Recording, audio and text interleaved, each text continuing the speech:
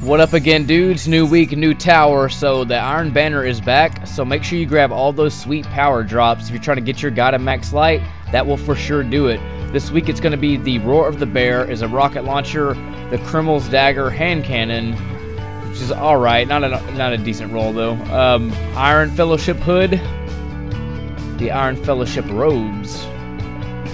This is the uh, Warlock, by the way. Iron Fellowship gloves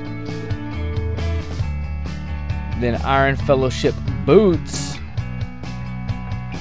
Iron Fellowship bond. That is it for Iron Banner dudes. Grab that power drop though. It's gonna be freaking beast.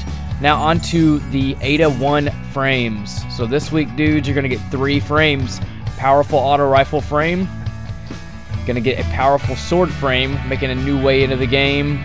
And then powerful hand cannon making a return as well. So definitely grab the ballistic logs. That way you can grab those. And if you're going to pick any of these to do, I recommend doing the final one, the one before last, because that's an easy one. And then I wouldn't recommend doing the Gambit match if you're low on the Modulus report. I would do the Dreaming City Arsenal and then the, the back two ones that I picked. Those are the easiest ones if you're low on those. But that is your Ada 1 frames. Now on to Eververse.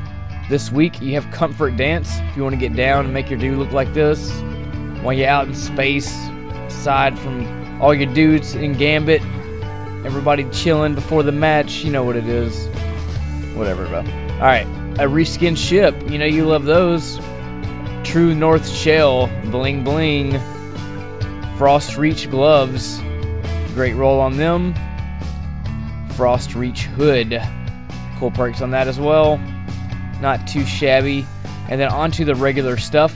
The explosive dance. You can get that. It's alright. I don't know if I'm gonna get it though. But if you're into that, air quotes. Burnout, looking dope. Dream Streak, Reship.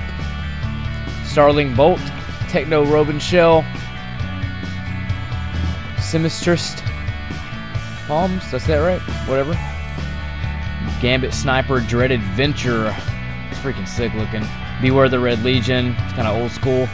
But that's pretty much it, dudes. Have a Merry, Merry Christmas, and y'all have a great week grinding, and I'll catch y'all next time in space.